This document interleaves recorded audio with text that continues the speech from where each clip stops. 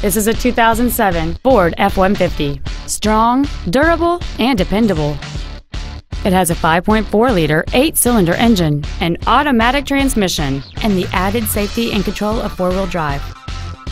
Features include a double wishbone independent front suspension, a low tire pressure indicator, cruise control, a CD player, disc brakes with an anti-lock braking system, a passenger side airbag, a keyless entry system, an external temperature gauge, and a tilt steering wheel.